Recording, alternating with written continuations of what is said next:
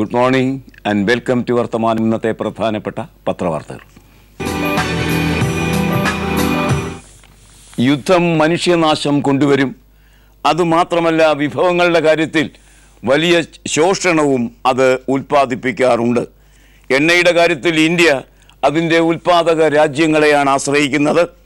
അതുകൊണ്ട് തന്നെ പൂർവേഷ്യയിലെ രാഷ്ട്രീയ ചലനങ്ങൾ ഇന്ത്യയെ സംബന്ധിച്ച് പ്രധാനപ്പെട്ട കാര്യങ്ങളാണ്. കാരണം ഇന്ത്യ അതിന്റെ ഉപഭോഗത്തിന്റെ എണ്ണ ഉപഭോഗത്തിന്റെ ഏറിയ കൂറും ഇറാഖിൽ നിന്നാണ് വാങ്ങുന്നത് എന്ന് നമുക്കറിയാം. യുദ്ധം മൂലം എണ്ണ വില കുതിക്കുന്നു. അതേ സംബന്ധിച്ച് ഉള്ള വാർത്തകൾ പത്രലോകം ഇന്ന് തരുന്നുണ്ട്. യുദ്ധക്കെടുതികൾക്കൊപ്പം വിലക്കയറ്റത്തെക്കുറിച്ചുമുള്ള ആശങ്കകൾ ജനിപ്പിക്കുകയാണ് ഇറാഖിലെ ആഭ്യന്തര കലഹം മലയാള മനോരമ. ആ വിശേഷമാണ് നാമുമായി ലീഡ് വാർത്തയിൽ പങ്കുവയ്ക്കുന്നത്. ബൈജി എണ്ണശാല ഭീകരർ പിടിച്ചു. ഭീകരർ പിടിച്ചുവെന്നും തിരിച്ചു പിടിച്ചുവെന്നും ഒക്കെ വാർത്തയുണ്ട്. ഏതായാലും ആര് പിടിച്ചാലും പിടിച്ചില്ലെങ്കിലും എണ്ണ വില കുതിക്കുന്നു. തീവ്രവാദികൾ തട്ടിയെടുത്ത നാൽപ്പത് ഇന്ത്യക്കാരുടെ വിവരം ലഭിച്ചു എന്ന് കേന്ദ്ര സർക്കാർ. ഇറാഖിലെ ഏറ്റവും വലിയ എണ്ണ ശുദ്ധീകരണശാലയായ ബൈജി ഭീകരരിൽ നിന്ന് തിരിച്ചു പിടിച്ചതായി ഇറാഖ് സർക്കാർ അവകാശപ്പെട്ടു. എന്നാൽ എണ്ണശാലയുടെ നിയന്ത്രണം ഭീകരരുടെ കയ്യിലാണെന്നും റിപ്പോർട്ടുണ്ട്. തട്ടിയെടുക്കപ്പെട്ട നാൽപ്പത് ഇന്ത്യക്കാർ സുരക്ഷിതരാണെന്നും അവരെപ്പറ്റി ഇറാഖ് സർക്കാരിന് വിവരം ലഭിച്ചുവെന്നും ഇന്ത്യൻ വിദേശകാര്യ മന്ത്രാലയം അറിയിച്ചു. ഇതിനിടെ ഇറാഖിലെ അരക്ഷിതാവസ്ഥയിലുള്ള ആശങ്ക മൂലം എണ്ണവില ഒൻപത് മാസത്തിനിടെ ഏറ്റവും ഉയർന്ന നിലയിൽ എത്തുകയും ചെയ്തു. ഇതാണ് ഇറാഖിൽ നിന്ന് നമ്മെ തേടിയെത്തുന്ന വിലവർധനവിന്റെ വാർത്ത. എന്നാൽ സദ്ദാം ഹുസൈന്റെ ജന്മനാടായ തികൃത്തിൽ അകപ്പെട്ട് കിടക്കുന്ന നാൽപ്പത്തിയാറ് നഴ്സുമാരുണ്ടല്ലോ മലയാളി നഴ്സുമാർ. അവർ തികച്ചും സുരക്ഷിതരാണ് എന്ന് ആശ്വാസദായകമായ വാർത്തയും മലയാള മനോരമ പ്രധാന വാർത്തയിലെ പെട്ടി വാർത്തയിൽ നമുക്ക് തരുന്നു. തികിർത്തിലെ നഴ്സുമാർ സുരക്ഷിതർ. അവർക്ക് അവിടെ വൈദ്യുതി മുടക്കമോ ഭക്ഷണ ദൗർലഭ്യമോ ഇല്ല. പുറത്തേക്ക് പോകാൻ കഴിയില്ല. കാരണം രാജ്യം തന്നെ വെടിയൊച്ചയിൽ മുഖരിതമാണെങ്കിലും ആശുപത്രിക്ക് പുറത്തുനിന്ന് വെടിയൊച്ചകൾ അവരെ തേടി എത്തുന്നില്ല എന്ന് നഴ്സുമാർ പറഞ്ഞതായി മനോരമ പറയുന്നു. അതുമാത്രമല്ല യുദ്ധത്തിന്റെ ഭാഗമായി പരിക്കേറ്റ് ചികിത്സയ്ക്ക് വരുന്നവരുടെ എണ്ണം കുറഞ്ഞുകൊണ്ടുവരുന്നുണ്ട് എന്നുകൂടി അവിടെ നിന്നുള്ള മലയാളി നഴ്സ് പറഞ്ഞതായി മലയാള മനോരമ ആശ്വാസദായകമായ ആ വാർത്ത ഒന്നാം വാർത്തയ്ക്കൊപ്പം തന്നെ ഇന്ന് തന്നിരിക്കുന്നു. നാൽപ്പത് പഞ്ചാബി തൊഴിലാളികളാണ് ഇറാഖിൽ ബന്ദികളാക്കപ്പെട്ടിരിക്കുന്നത്. അവർ അവിടെയുണ്ട് എന്ന് കണ്ടെത്തി എവിടെയാണുള്ളത് എന്നും കണ്ടെത്തി. പക്ഷേ അവരുടെ മോചനം അത്ര എളുപ്പമായിരിക്കില്ല. കാരണം അവരെ ബന്ദികളാക്കിയിരിക്കുന്ന സുന്നി വിഭാഗം സായുധ സേനാംഗങ്ങൾ അവരെ കൈമാറ്റത്തിനു വേണ്ടിയോ വിലപേശാനോ വേണ്ടിയാണ് കൈവശം വെച്ചിരിക്കുന്നത്. അതുകൊണ്ട് തന്നെ ആ വിലപേശൽ രാഷ്ട്രീയത്തിന് കാത്തിരിക്കുന്നു. അത്തരമൊരു സാഹചര്യത്തിൽ വളരെ പെട്ടെന്ന് അവരെ മോചിപ്പിക്കും എന്ന് കരുതാനാകില്ല ഏതായാലും. ഇന്നലെ ദി ന്യൂ ഇന്ത്യൻ എക്സ്പ്രസ് പറഞ്ഞതുമാതിരി അതിൽ മുപ്പത്തിയൊൻപത് പേർ വധിക്കപ്പെട്ടിട്ടുണ്ടാകാം എന്ന വാർത്തയ്ക്ക് ഒരു സ്ഥിരീകരണവും ലഭിച്ചിട്ടില്ല എന്ന ആശ്വാസവും ഇന്നത്തെ വാർത്ത നമുക്ക് തരുന്നു. മാതൃഭൂമി അതാണ് ലീഡ് വാർത്തയാക്കിയിരിക്കുന്നത്. ഇറാഖ് ആഭ്യന്തര കലാപം. ഇന്ത്യക്കാരായ ബന്ദികൾ എവിടെ എന്ന് കണ്ടെത്തി. സുരക്ഷ ഉറപ്പ് പറയാനാവില്ല എന്ന വിദേശ മന്ത്രാലയം സുരക്ഷിതമായി തിരിച്ചു കൊണ്ടുവരാൻ ശ്രമിക്കും എന്ന് സുഷമ സ്വരാജ് ഷൈൻ മോഹൻ ആ വാർത്ത തരുന്നത് ഇപ്രകാരം. ആഭ്യന്തര യുദ്ധം നടക്കുന്ന ഇറാഖിലെ മുസൂളിൽ നിന്ന് തട്ടിക്കൊണ്ടുപോയ നാൽപ്പത് ഇന്ത്യക്കാർ എവിടെയാണെന്ന് ഇവർ ലഭിച്ചു. ഇവർ ബന്ദികളായിരിക്കുന്നിടത്തോളം കാലം സുരക്ഷ ഉറപ്പ് പറയാനാവില്ല എന്ന് വിദേശകാര്യ വക്താവ് സയ്യിദ് അക്ബർ അക്ബർ ഉദ്ദീൻ പറഞ്ഞു. തട്ടിക്കൊണ്ടു പോകപ്പെട്ടവരുടെ കുടുംബാംഗങ്ങൾക്ക് വിദേശകാര്യമന്ത്രി സുഷമ സ്വരാജ് എല്ലാ സഹായവും വാഗ്ദാനം ചെയ്തു. ഇറാഖിൽ ബന്ദികളാക്കപ്പെട്ടവരുടെ ബന്ധുക്കൾ വിദേശകാര്യമന്ത്രി സുഷമ സ്വരാജിനെ കാണുന്ന ചിത്രമടക്കമാണ് ഈ ലീഡ് വാർത്ത ഇന്ന് മാതൃ മാതൃഭൂമി നമുക്ക് തന്നിരിക്കുന്നത്. ഇറാഖിൽ അമേരിക്ക ഇടപെടുമോ? ഇടപെടാതിരിക്കാനാകില്ല. രണ്ട് അമേരിക്കൻ യുദ്ധ കപ്പൽ ആ ഭാഗത്ത് തമ്പടിച്ചു നിൽക്കുന്നു. ആകാശ പ്രതിരോധം നടത്തും എന്ന് പറയുന്നു അമേരിക്ക. ഇരുന്നൂറ്റി എഴുപത്തിയഞ്ച് അമേരിക്കൻ സൈനികർ അവിടെ പറന്നിറങ്ങി കഴിഞ്ഞിരിക്കുന്നു. ഈ സാഹചര്യത്തിൽ അമേരിക്ക എപ്രകാരമാണ് ഇറാഖിൽ ഇടപെടാൻ പോകുന്നത് എന്നതിനെ സംബന്ധിച്ച ഒരു ഗൗരവതരമായ നിരീക്ഷണവും മാതൃഭൂമി. ഒന്നാമത്തെ വാർത്തയ്ക്കൊപ്പം തരുന്നു കാണുക.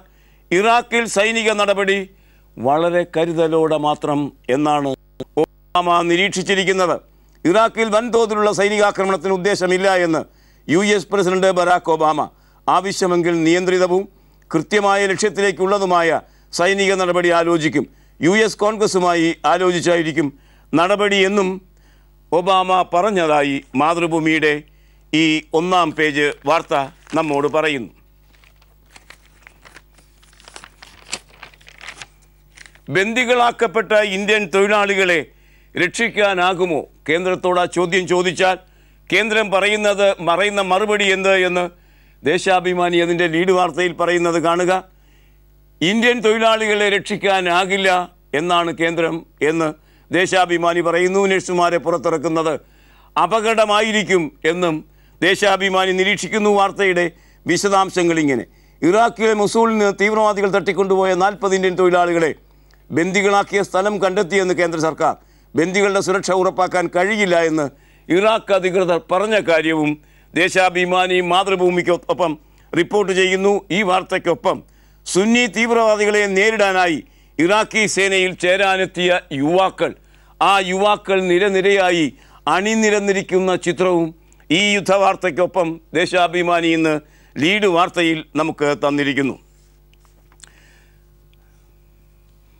അങ്ങ് ദൂരെ ഇറാഖിൽ വെടിയൊച്ച മുഴങ്ങിക്കൊണ്ടിരിക്കുമ്പോൾ ഇങ്ങ് നമ്മുടെ കൊച്ചു കേരളത്തിലെ ഏറ്റുമാനൂരിൽ ഒരു മാതാപിതാക്കൾ എരുതിയിൽ കഴിയുന്നു ഹൃദയമിടിപ്പോടെ ജീവിക്കുന്നു. ദേശാഭിമാനി ഒന്നാം പേജിൽ ആ വാർത്തയും നമുക്ക് തരുന്നു. സചിത്രമായ ആ വാർത്ത ഇങ്ങനെയാണ് പറയുന്നത്. മൂന്ന് പെൺമക്കളും ഇറാഖിൽ ചികിരിയിടാം തടത്തിൽ ആധിയുടെ നെരിപ്പോട്. ഒരു അച്ഛന്റെയും അമ്മയുടെയും ആധിയാണ് പത്രം പങ്കുവയ്ക്കുന്നത്. ഇറാഖിലെ തീരത്തുകളിൽ ക്ഷമിക്കുക ഇറാഖിലെ നിരത്തുകളിൽ വെടിയച്ച് മുഴങ്ങുമ്പോൾ ഏറ്റുമാനൂർ വള്ളിക്കാട് ചകിരിയിടാം തടത്തിൽ ഒരമ്മയും അച്ഛനും നെഞ്ചിരിപ്പോടെ കാത്തിരിക്കുകയാണ്. അവിടെ നഴ്സുമാരായി ജോലി നോക്കുന്ന മൂന്ന് പെൺമക്കളും സുരക്ഷിതരായി മടങ്ങി വരുന്നതും കാത്താണ് അവർ ഓരോ നിമിഷവും അനുനിമിഷം നെഞ്ചിലെ ആധിയുമായി കാത്തിരിക്കുന്ന മാതാപിതാക്കളുടെ ആ ചിത്രമാണ് ഇന്ന് ദേശാഭിമാനി ഒന്നാം പേജിൽ തന്നിരിക്കുന്നത്. അമേരിക്കൻ ഇടപെടൽ അവിടെ ഉണ്ടാകുമെന്ന് എല്ലാവർക്കും അറിയാം. പക്ഷേ അമേരിക്കൻ ഇടപെടലിൽ ഒരു തന്ത്രമുണ്ട് എന്നും ആ തന്ത്രം ഒളിപ്പിച്ചാണ് അമേരിക്കയും ഒബാമയും സംസാരിക്കുന്നത് എന്നും ദേശാഭിമാനി ഒന്നാം പേജ് വാർത്തയിൽ നിരീക്ഷിക്കുന്നുണ്ട്. യുദ്ധതന്ത്രം ഒളിപ്പിച്ച് യു എസ് തീവ്രവാദി മുന്നേറ്റം ശക്തമായ ഇറാഖിലേക്ക് മുന്നൂറ്റി എൺപത് സൈനിക ഉപദേശകരെ അയക്കുമെന്ന് അമേരിക്ക ഇറാഖി സേനയെ പരിശീലിപ്പിക്കാനും വിദഗ്ധോപദേശം നൽകാനുമാണ് യുദ്ധവിദഗ്ധരായ സൈനിക ഉപദേശകരെ അയക്കുന്നത് എന്ന് വൈറ്റ് ഹൗസിലെ അടിയന്തര യോഗത്തിന് ശേഷം പ്രസിഡന്റ് ബരാക് ഒബാമ അവകാശപ്പെട്ടു. ഇറാഖി സേനയെ ശക്തിപ്പെടുത്താൻ മുന്നൂറ് ഉപദേശകർ വേണ്ടി വന്നാൽ വ്യോമാക്രമണം മാ മാലിക്കിക്ക് മാലിക്കയ്ക്ക് വിമർശനം സുന്നീഷിയ സംഘടനത്തിൽ തങ്ങൾ ഇടപെടില്ല എന്ന നിലപാട് ഈ അർത്ഥത്തിൽ പ്രധാനപ്പെട്ട മൂന്ന് വാർത്തകളാണ് ദേശാഭിമാനി. ഇറാഖിലെ ആഭ്യന്തര കലാപവും ഇന്ത്യയും കേരളവുമൊക്കെ ആയി അതിനുള്ള ബന്ധത്തെ സംബന്ധിച്ചുമുള്ള വാർത്തകൾ നമുക്ക് തരുന്നത്. അതിനുശേഷം ഒരൊറ്റ വാർത്ത മാത്രമാണ് ദേശാഭിമാനി ഒന്നാം പേജിൽ തന്നിരിക്കുന്നത്. അതാകട്ടെ ലോക ഫുട്ബോളിന്റെ വാർത്തയും. അത്രമാത്രം പ്രാധാന്യം ഇറാഖിലെ ആഭ്യന്തര യുദ്ധത്തിന് ദേശാഭിമാനി ഇന്ന് നൽകിയിട്ടുണ്ട്. കേരളത്തിലെ ഭരണരംഗത്തെക്കുറിച്ച് കാര്യമായൊന്നും പറയാനില്ല. ഒരുപക്ഷെ മാധ്യമപ്രവർത്തകരെക്കാളും മറ്റ് വിവിധ മണ്ഡലത്തിൽ പ്രവർത്തിക്കുന്ന നിരീക്ഷകരെക്കാളുമൊക്കെ കേരളത്തിലെ രാഷ്ട്രീയ രംഗം ഇപ്പോൾ നിരീക്ഷിക്കുന്നത് സരി നിയന്ത്രിക്കുന്നത് സരിത എസ് നായരോ ബിജു രാധാകൃഷ്ണനോ ഒക്കെ ആയിരിക്കും അത്രത്തോളം വിശേഷപ്പെട്ടതാണ് ഉമ്മൻചാണ്ടിയുടെ ഭരണരംഗമെന്ന് നമുക്കറിയാം. ഏതായാലും അത്തരമൊരു തകർച്ചയിൽ ഭരണരംഗം നിൽക്കുന്ന സാഹചര്യത്തിൽ ഇവിടുത്തെ ഉദ്യോഗസ്ഥന്മാരും അവരുടെ ഭാഗം ഭംഗിയായി അഭിനയിച്ചുകൊണ്ടിരിക്കുന്നു. ഐ എ എസ് ഉദ്യോഗസ്ഥന്മാരുടെ ഇടയിലുള്ള പഠന പിണക്കം പുതിയ തലത്തിലേക്ക് വികസിച്ചിരിക്കുന്നു. ചീഫ് സെക്രട്ടറി തന്നെ നേരിട്ടുള്ള അഴിമതി ആരോപണത്തിന് ആക്ഷേപത്തിന് വിധേയനായിരിക്കുന്ന സാഹചര്യമാണ് ഇപ്പോൾ കേരളത്തിലുള്ളത്. ആ ഭയാനകമായ സാഹചര്യത്തിന്റെ വാർത്താ ദൃശ്യം കേരള കൗമുദി ലീഡ് വാർത്തയാക്കിയിരിക്കുന്നു. ചീഫ് സെക്രട്ടറിയുടെ സ്വത്ത് കേന്ദ്ര വിജിലൻസ് അന്വേഷിച്ചേക്കും. അവിടം വരെ എത്തി പടലപ്പിണക്കങ്ങളും ആരോപണ പ്രത്യാരോപണങ്ങളും. മകളുടെ അമേരിക്കൻ പഠനത്തിന് മുടക്കിയ കോടികളെക്കുറിച്ചും അന്വേഷണം ഇ കെ ഭരത്ഭൂഷൺ ചീഫ് സെക്രട്ടറിയുടെ ചിത്രവും ആ വാർത്തയ്ക്കൊപ്പം കേരള കൗമുദി തരുന്നു.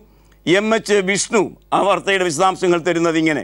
Chief secretary E K Bharatbhushan വരുമാനത്തിൽ കവിഞ്ഞ് ക്രമവിരുദ്ധമായി സ്വത്ത് സമ്പാദിച്ചു എന്ന പരാതി കേന്ദ്ര വിജിലൻസ് കമ്മീഷന് മുന്നിൽ എത്തിക്കഴിഞ്ഞിരിക്കുന്നു എന്ന് കേരളം നിരീക്ഷിക്കുന്നു.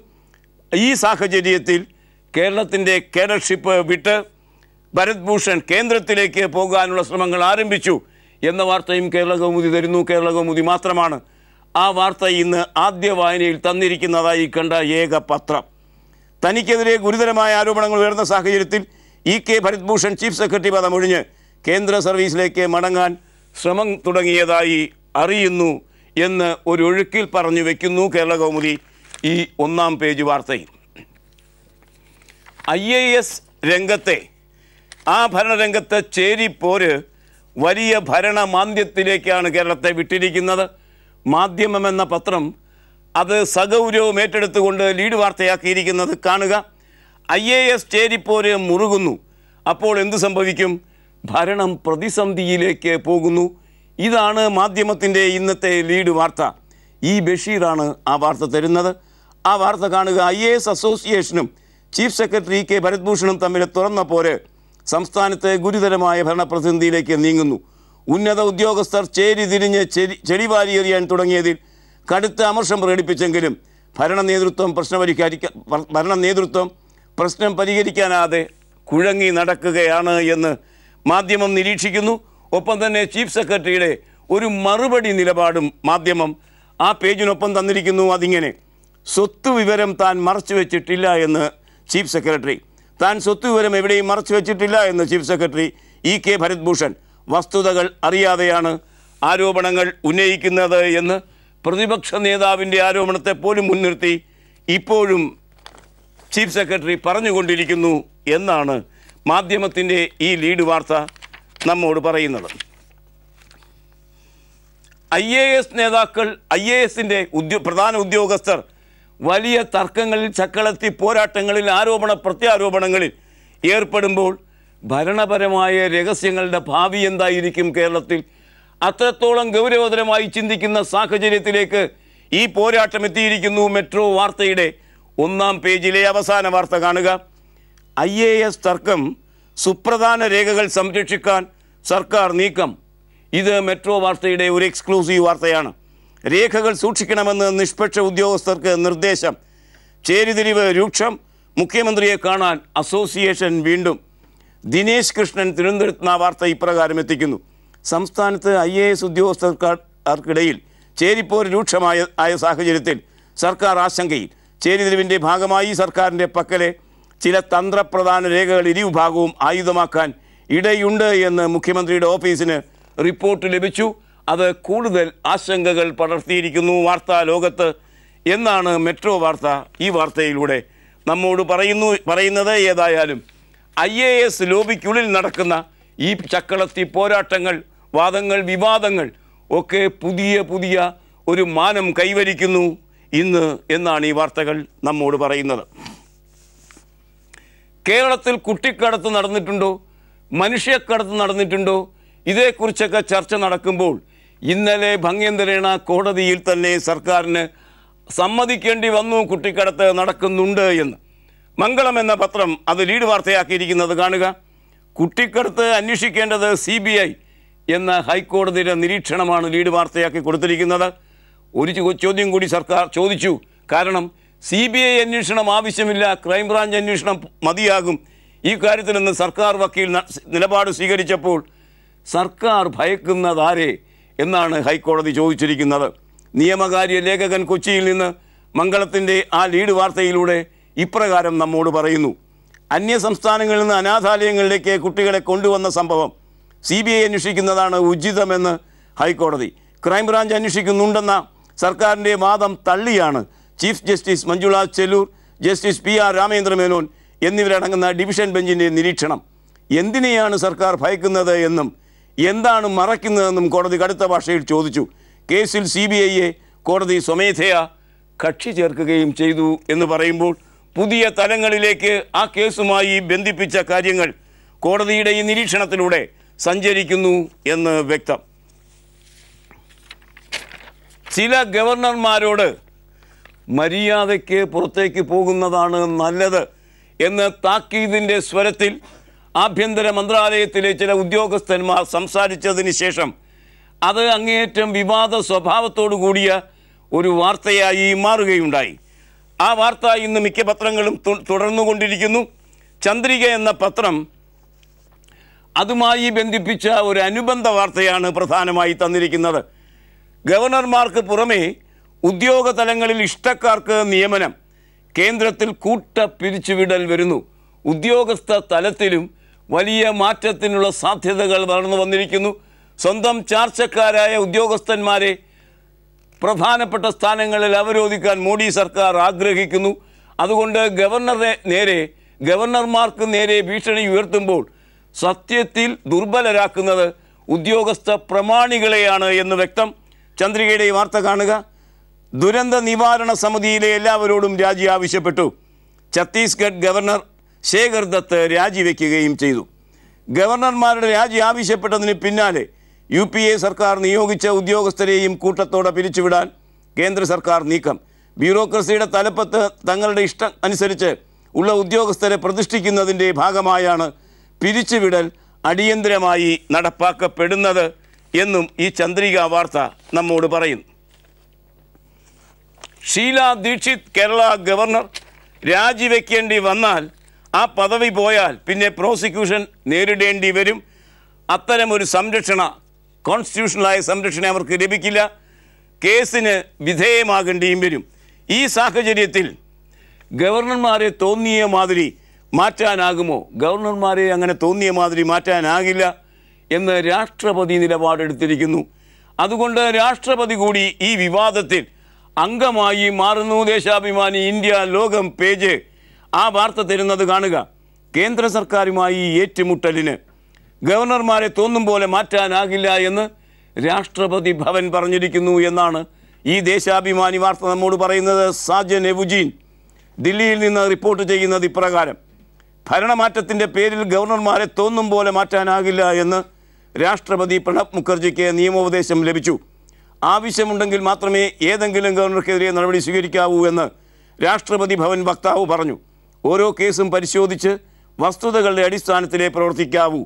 ഇതോടെ രാഷ്ട്രപതി ഭവനും മോഡി സർക്കാരും തമ്മിൽ ഏറ്റുമുട്ടലിന്റെ ആദ്യ മണി മുഴങ്ങിക്കഴിഞ്ഞിരിക്കുന്നു എന്നാണ് ഈ വാർത്തയിലൂടെ ദേശാഭിമാനി നിരീക്ഷിക്കുന്നത്. ബാറുകൾ അടച്ചിട്ടാൽ മദ്യലഭ്യത കുറയും. മദ്യപന്മാരായ ആളുകൾ എവിടെ നിന്നും മദ്യം വാങ്ങി കുടിക്കും? അതുവഴി വിഷമദ്യ ദുരന്തം ഇടയുണ്ട്. ഇതൊക്കെയാണ് രഹസ്യാന്വേഷണ വകുപ്പ് നൽകുന്ന റിപ്പോർട്ടുകൾ. അത്തരം അതിനുള്ള സാധ്യതയുണ്ട്. ആ സാധ്യത തിരുവനന്തപുരം കൊല്ലം ജില്ലകളിലാണ് നിൽക്കുന്നത് എന്നുകൂടി ഈ രഹസ്യാന്വേഷണ റിപ്പോർട്ടുകൾ പറഞ്ഞപ്പോൾ അത് വി എം സുധീരനെതിരെയുള്ള ഭരണരംഗത്ത് നിന്നുള്ള ഒരുപക്ഷെ എക്സൈസ് മന്ത്രിയുടെ തൽ- സ്ഥലത്തിൽ നിന്നുള്ള ഒരു ഒളിയമ്പായി മാറിയിരുന്നുവെങ്കിൽ വി എം സുധീരൻ നന്നായി അതിനെതിരെ പ്രതികരിച്ചിരിക്കുന്നു. കാണുക. വ്യാജമദ്യ ദുരന്തത്തിന് ശ്രമിച്ചാൽ അതൊന്നും നടക്കാൻ പോകുന്നില്ല എന്നാണ് സുധീരൻ പറഞ്ഞിരിക്കുന്നത്. വെല്ലുവിളി ഏറ്റെടുക്കാൻ തന്നെയാണ്. കെ പി സി സി പ്രസിഡന്റിന്റെ തീരുമാനം വ്യാജം മദ്യ ദുരന്തത്തിന് ശ്രമിച്ചാൽ നടക്കില്ല വി എം സുധീരൻ. വിൽപ്പനശാലകൾ അടഞ്ഞു കിടക്കുന്നതിനാൽ സംസ്ഥാനത്ത് വ്യാജമദ്യ ദുരന്തം ഉണ്ടാക്കാൻ ആരെങ്കിലും ശ്രമിച്ചാൽ അത് നടക്കില്ല എന്ന് K P C C president പറഞ്ഞു. ആഭ്യന്തര വകുപ്പും എക്സൈസും ഫോറസ്റ്റും അടക്കമുള്ള വകുപ്പുകളും ശക്തമായ നടപടികളാണ് ഇക്കാര്യത്തിൽ സ്വീകരിച്ചിട്ടുള്ളത്. അവരെയൊക്കെ ആശ്രയിച്ചാണ് വി എം സുധീരൻ അത് പറയുന്നത് എങ്കിൽ ആ വാക്കിന് എത്രത്തോളം പ്രസക്തിയുണ്ട് എന്ന് നാം രണ്ട് തവണ ആലോചിക്കേണ്ടി വരും. സി പി എമ്മിന്റെ സംസ്ഥാന കമ്മിറ്റിയും സംസ്ഥാന സെക്രട്ടേറിയറ്റും ഒക്കെ കൂടുകയാണ്. അതൊരു പതിവ് ചടങ്ങാണ് എന്ന് നമുക്കറിയാം. ഏതായാലും ഇത്തവണ അത് വാർത്താ പ്രാധാന്യത്തിലേക്ക് വരുന്നത് കഴിഞ്ഞ തവണ വരെ പലപ്പോഴും വാർത്താ പ്രാധാന്യത്തിലേക്ക് അത്തരം സമ്മേളനങ്ങൾ വന്നിരുന്നത്. പിണറായി വിജയൻ എന്ന് പറയുന്നു വി എസ് അച്യുതാനന്ദൻ എന്ന് പറയുന്നു എന്നൊക്കെ കാര്യങ്ങളെ ചുറ്റിപ്പറ്റിയാണെങ്കിൽ ഇന്ന് വിവാദ വിഭവം എം എ ബേബിയാണ്. എം എ ബേബിയുടെ എം എൽ എ സ്ഥാനം തീരുമാന യോഗത്തിന്റെ അതിനെ സംബന്ധിച്ച തീരുമാനം വരാൻ പോകുന്ന നിന്ന് തുടങ്ങ- തുടങ്ങാൻ പോകുന്ന യോഗങ്ങളിൽ പ്രതിഫലനങ്ങൾ സൃഷ്ടിക്കും എന്ന് നിരീക്ഷിക്കുന്നു പത്രങ്ങൾ മംഗളം എന്ന പത്രം. ആ വാർത്ത ഉൾപേജിലെത്തിക്കുന്നത് ഇങ്ങനെ. സി പി എം നേതൃയോഗങ്ങൾ ഇന്നു മുതൽ ബേബിയുടെ രാജി ആവശ്യത്തിൽ തീരുമാനമുണ്ടായേക്കും. പോളിറ്റ് ബ്യൂറോ അംഗം എം എ ബേബി നിയമസഭയിൽ തുടരണോ എന്നും ഇന്ന് തുടങ്ങുന്ന സി പി എം നേതൃയോഗങ്ങൾ തീരുമാനിക്കും. ഇന്നും നാളെയും സംസ്ഥാന സെക്രട്ടേറിയറ്റ് യോഗവും തുടർന്നുള്ള രണ്ട് ദിവസം സംസ്ഥാന കമ്മിറ്റിയുമാണ് ചേരുന്നത്. എം എ ബേബി ഇന്നലെയും നിയമസഭയിൽ എത്തിയില്ല. ആകെ ഒരു ദിവസമേ അദ്ദേഹം നിയമസഭയിൽ എത്തിയിരുന്നുള്ളൂ. അത് വോട്ട് ചെയ്യാനുള്ള ദിവസമായിരുന്നു. ഏതായാലും ആ വിവാദം കത്തി നിൽക്കുന്ന സാഹചര്യത്തിൽ രാജി എം എ ബേബിയുടേത് വാശി നിറഞ്ഞ സമീപനമെന്ന് കേന്ദ്ര കമ്മിറ്റി അംഗം P K Sreemathi M P പറഞ്ഞിരിക്കുന്ന കാര്യവും ഈ വാർത്തയ്ക്കൊപ്പം മംഗളം തരുന്നു അതിങ്ങനെ.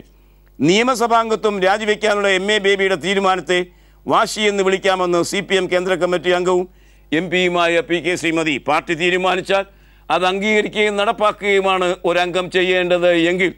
അപ്രകാരം ബേബി എം എൽ എ ആയിട്ട് തുടരട്ടെ എന്ന് പാർട്ടി തീരുമാനിക്കുന്ന പക്ഷം ബേബിക്ക് അതനുസരിക്കേണ്ടി വരും.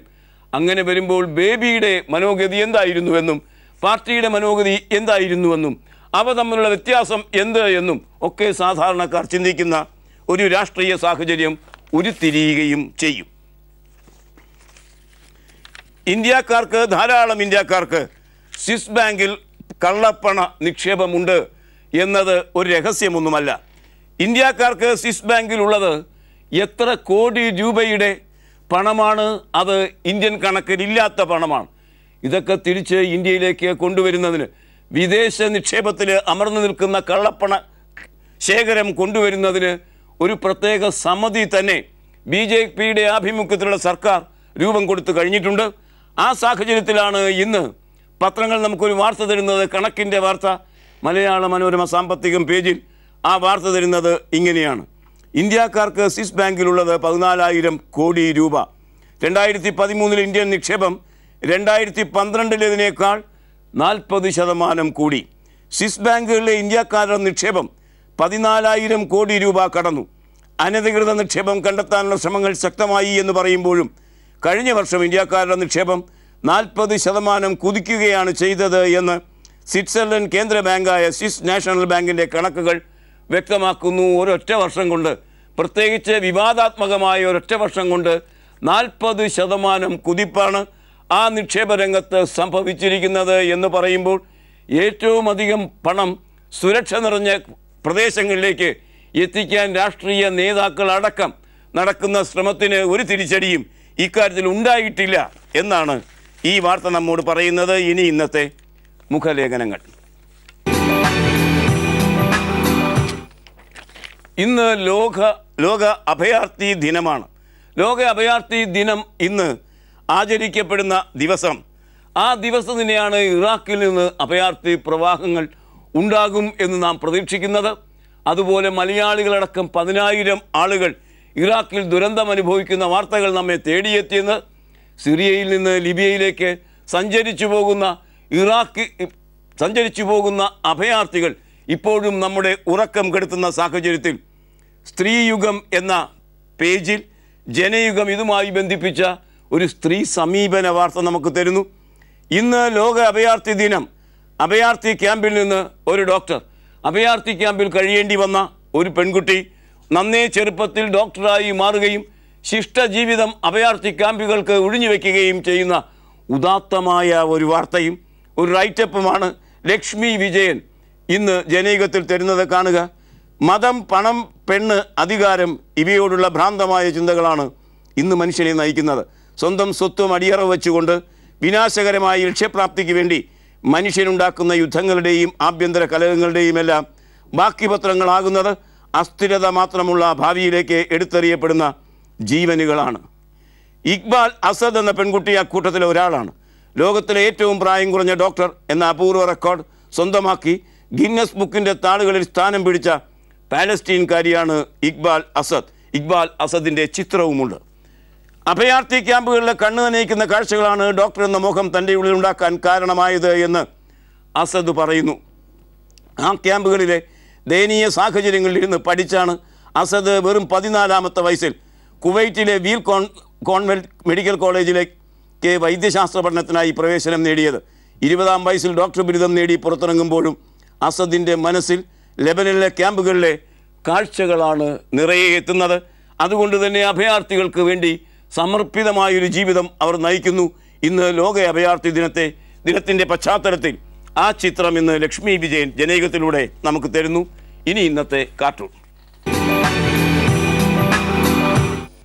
മന്ത്രിസഭ ചെറുതാണെങ്കിലും പരമാവധി ഭരണം നടത്തുന്ന ഒന്നായിരിക്കണം. Minimum ministers maximum governance. അതാണ് മോദിയുടെ കാഴ്ചപ്പാട്. ആ മോദി മുദ്രാവാക്യം എങ്ങനെയാണ് ബാധകമാകുന്നത് എന്ന് കാണുക. ഇത് മോദിയിൽ നിന്ന് നിർദ്ദേശം സ്വീകരിക്കുന്ന ഉദ്യോഗസ്ഥനു ഉദ്യോഗസ്ഥരാണ്.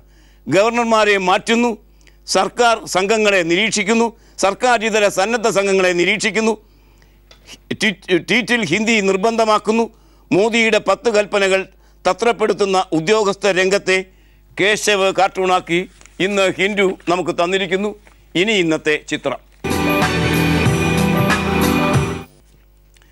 തെരഞ്ഞെടുപ്പ് തോൽവി നാടുവിടൽ തുറിച്ചു നോക്കി നിൽക്കുന്ന കേസുകൾ ഇപ്പോഴാകട്ടെ സ്ഥാനഭ്രഷ്ട ഭ്ര- സ്ഥാനഭ്രംശ ഭീഷണിയും ഇതെല്ലാമാണ് കേരള ഗവർണർ ഷീലാ ദീക്ഷിതിനെ ഇപ്പോൾ നേരിടുന്നത്. ഇപ്പോഴാ ഭവതി എന്താണ് ചെയ്യുന്നത് കാണുക. ഇത് രാജ്ഭവന്റെ ഉൾത്തളമാണ്. അവിടെ ഒരു ഓടക്കുഴൽ കച്ചേരി ശ്രവിക്കുന്ന ചിത്രം. ഗവർണർ ഗവർണറുടെ ചിത്രം എസ്. മഹീൻ ഷാ പകർത്തി ഹിന്ദു എന്ന പത്രമാണ് ഉൾപ്പേജിൽ നമുക്ക് തന്നിരിക്കുന്നത്. ഈ ചിത്രത്തോട് ഇന്നത്തെ വർത്തമാനം സമാപിക്കുകയാണ്. Nice weekend. Good bye.